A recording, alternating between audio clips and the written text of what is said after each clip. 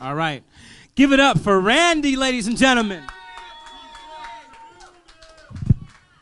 How's everybody doing in this motherfucker tonight? All right, because I'm up here like a dog shit in peach pits, man. All right, so I've been with my old lady now 11 years. Another day I was at work, and this dude at my work was asking me, he's like, he's like, you ain't worried about your bitch cheating on you? I said, fuck no. I said, if another dude could crack that motherfucking code, I'm gonna be at his door with a pen and paper trying to cheat off his fucking shit like the Chinese kid in class. Like, I'm gonna get that shit. Like, no. If he could get that pussy better than I can, then, you know, I'm gonna go get that shit from him. I'm gonna figure it out, you know? Because when I try to get pussy, I feel like fucking Bruce Willis in Fifth Element, you know, trying to crack open the cube, you know? Instead of fucking earth, wind, and fire and fucking water and all that other shit, I'm throwing money, diamonds, shoes, fucking uh, uh, Magic Mike fucking DVD from fucking Redbox. You know, I'm trying to get it. I'm trying to get it. You know, and when I first got with my old lady, she had a seven-year-old son. I didn't know how that was gonna be. I didn't know that little fucker still slept in the bed with her.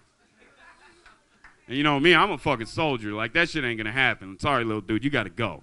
You gotta go. So the first night, the first uh, two nights that we were there, second night I was like, all right, cool, I'm gonna get me some pussy. You know, so I wake her up. It's like 2 o'clock in the morning. I'm like, hey, girl, wake up. Wake up. Let me get some pussy. She's like, okay, we got to be quiet. I said, no problem. Dudes ain't loud. We can fuck all day and we ain't going to make no noise.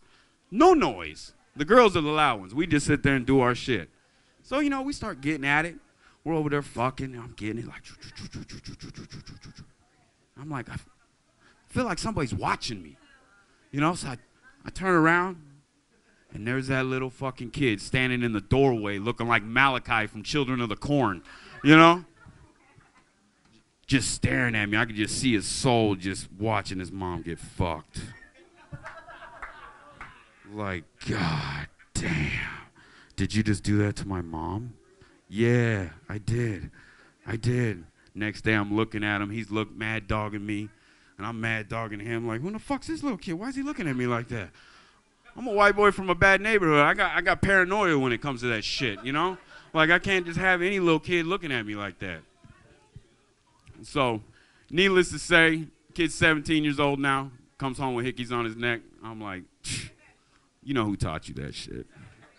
You know who taught you that shit. I taught you how to do that shit. That's all I got, guys, man. This is my first time up here. Thank y'all for having me. I'll be back next Thursday. We'll try some new shit. Thank you.